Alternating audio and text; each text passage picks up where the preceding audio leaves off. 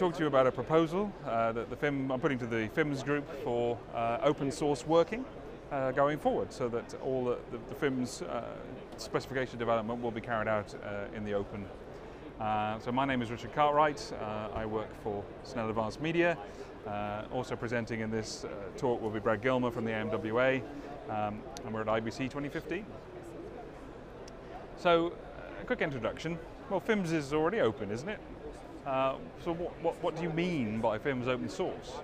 Uh, and the reality is that we publish openly at the moment, but we do our development privately, uh, and we'd like to open that up. Um, we'd like to do open source development using Git, uh, which is a version control, version management system uh, that's very popular in the open source community. FIMS is actually already using Git privately. What we'd like to do is use it in the open. I'm going to quickly show you the, the structure of how we'd expect the FIMS repository to look um, and then how we would use the GitHub process to do additions to FIMS, fixes to FIMS, and also enable people to make derivatives of FIMS and for us to be able to record related projects in FIMS. Um, I will also then hand over to Brad Gilmer who will discuss some of the issues to do with IPR and licensing. So, open source. FIMS already delivers its publications openly. They are published, there's no cost uh, to downloading those and we provide schemas that are technical and can be used directly in a software product uh, with an Apache 2.0 license, so a, a permissive license.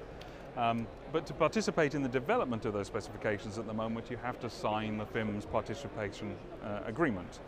Um, so and then you are given access to the private uh, GitHub if, if you're uh, working on the technical artifacts.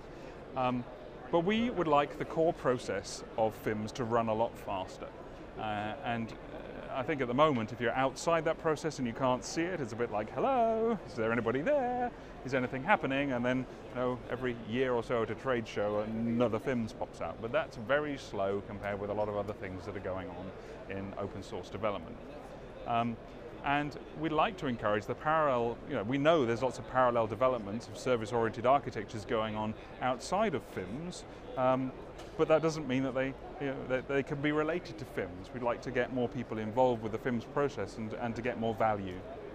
Um, we want to enable all, everybody to be able to grow FIMS, whether they're a member or not. Therefore, we want to work in the open and we want to encourage people to contribute back additions, fixes, derivatives, and related projects. Um, we also want to work in an open source way that is unsurprising to people who are working on other open source projects. So uh, GitHub has a whole culture uh, and social aspect to it, and we'd like to become uh, part of that rather than being uh, uh, separate from it.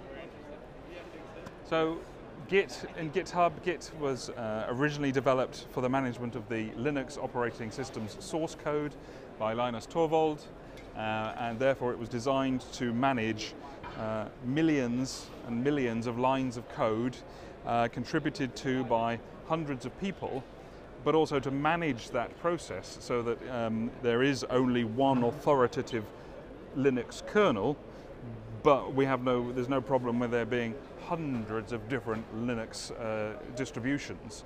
But because that kernel is controlled, then it's safe.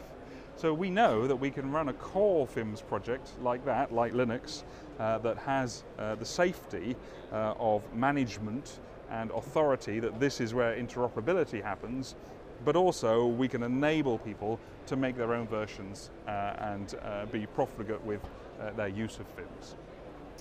So we have registered FIMS TV as a project on, on GitHub, and there is a FIMS project in there, and that is where uh, the FIMS core uh, will end up. At the moment we're working on FIMS v 1.2. We've worked in a private GitHub, uh, so we already are using Git, uh, and I'll explain a little bit more about that process now. Um, so what we did in our core process was we started with uh, version 1.1, uh, and we branched that to make a FIMS 1.2. Uh, we had uh, four parallel projects then, which became branches. They were all being worked on in parallel by different teams. So we had a REST project, a QA project, a timecode project, and also a, uh, there was also a service capability description uh, project. And those branches were able to work independently and enabled to work independently. When they had dependencies, they could merge between one another. Um, when that was completed, we merged back onto the FIMS 1.2 branch. We did a technical validation. We went out for IPR review and review by the AMWA and EBU uh, processes. Um, that was then approved, and then we're now merging those changes back onto the master branch. So the, the master branch is the published version of FIMS, uh, and all the other branches are the development versions of FIMS. But one of the powers of Git is we were able to start working on FIMS 1.3 before FIMS 1.2 was approved, and we will now merge the changes from FIMS 1.2 review process out onto the 1.3 branch. And that is exactly what Git is designed to do, to manage all your different versions and to manage your merging. So that is the, the, the core process, and that's currently being done controlled and in private. Uh, to propose that we move towards uh, this kind of structure. Um, so we have a README file the license files, the schema files, a space for sample implementations, a space for FIMS test, which is going to come out of the FIMS test project, um, migrate the Word document that we have to uh, markdown files that work uh, natively uh, with Git and will display in GitHub. Uh, and also we can then version control our documentation in the same way uh, we version control our schemas and our source code. Uh, we can also include any contribution forms that are required under the IPR process and start to add in some examples of various different services and their actual capability, their service uh, capability descriptions, so that people can, can see, at the moment we don't have an examples folder, but we will actually make that a core part of, of FIMS open source going forward. Um, but the power that we then have using the GitHub process is that as well as having the core process, we can encourage external organizations just to take their own fork of FIMS, have a complete and rich and deep copy of FIMS, make changes, and then work in four different uh, classifications of ways, four different ways. One is an addition, uh, making, adding additional things. One is to propose a fix. Uh, one is to create a derivative project, and one is to create some a related item of work. Uh, and I'm going to go through those various categories now. So we'll start with making an addition. So we know that there are, there are a number of companies out there who have developed FIMS-like services, or they have a number of adapters. So uh, maybe as well as a, a, a transcode service, um, they've got some other uh, um, uh, services, for example, a graphics service, or a, a, publication service, or a playout service. They've actually taken the FIMS model and already developed a whole SOA around it. And it's similar to FIMS, it's not quite FIMS, but they can take it now, they'll be able to take a fork of FIMS, add their new services that they've developed, and then they can sort of come back to us, knock on the door with a pull request and say, uh, would you like to have these additional services in FIMS? And we can do a, a relatively quick review of that, create a branch, uh, as long as they give us a contribution form, we can then bring those services onto the branch and use the same core process that I showed on the previous slide to go through a review and approval process, and then these services will find their way into V1.3. And if they then update uh, their services in the future, they can make another pull request, and we can do the repeat the process over again. So they can maintain in their own uh, repository updates, and then we can pull them in at appropriate stages in FIMS development. Um, another issue that's actually come up with FIMS 1.2 already is that there's uh, been a couple of issues spotted or uh, things that would, if we could just make those quick changes, then, then FIMS would be much more applicable to the DPP process. Um, so an issue has been spotted. Uh, so if someone spots an issue, they're enabled to immediately make a deep copy of FIMS, fix the problem, make a pull request, and if it's just a minor non-substantive change, then we might as well just go to a version 1.2.1 and say, that's it. No need for any deep or rich, meaningful process uh, to, to, to, review and approve, although we'll have to confirm that. Uh, this is just the proposal.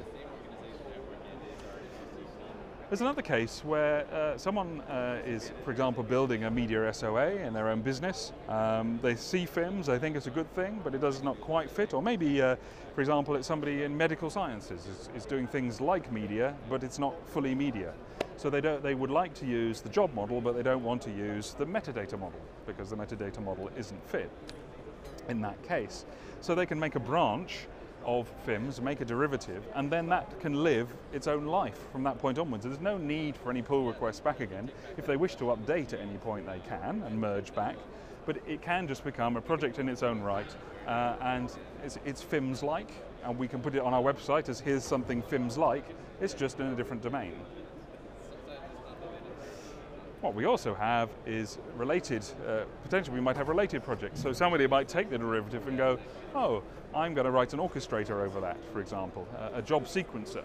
So uh, uh another company uh, uh, takes a, a, branch of that, they make a, a sequencer and then actually that's quite a useful thing in its own right. It doesn't necessarily uh, have any direct relationship back to, to FIMS anymore, but it's a useful project. And actually, for example, might go back into the AMWA through the RFC process as an independent project. Um, and once again, it doesn't necessarily have to be merged back onto FIMS. It's not about FIMS. It's not, not part of the FIMS remit, but it is a very, very useful thing in its own right, and it becomes uh, a standalone project. But we have traceability back to where it was branched from, and therefore we know the interoperability point of that. So with these non-core projects, you can create, anybody can create at any time, everyone is enabled, whether they're a participant or not. Um, you have the opportunity to contribute back to the core if there's value there, uh, and so FIMS participants at that point can make a pull request. So you'd have to be a FIMS participant uh, to be able to do that and the process will be administered via the FIMS uh, Architecture Council. Um, all non-core projects will be separate projects on GitHub. They will not be the core project, um, but they will have a link back. Uh, we can link to them if the requested to from the FIMS.tv website. Uh, so we can say this is in our family, even if it's not actually part of our core. Um, we always have traceability back to which version we branched from and uh, we can um, always, also these external projects can be updated to the current state of the core. Um, FIMS core uses the Apache 2.0 license, which is a fairly permissive license. Uh, we'd like forked projects to uh, respect that, because they're obviously taking from uh, the uh, from the core, and that is the applied license.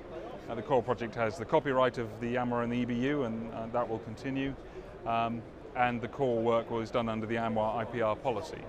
Um, so outstanding now, and the reason why this is a proposal and not finalised, is that there are ongoing discussions as to IPR issues. So I'd like to hand over to uh, Brad Gilmer, Executive Director of the AMWA, to discuss uh, the, the last couple of points about IPR.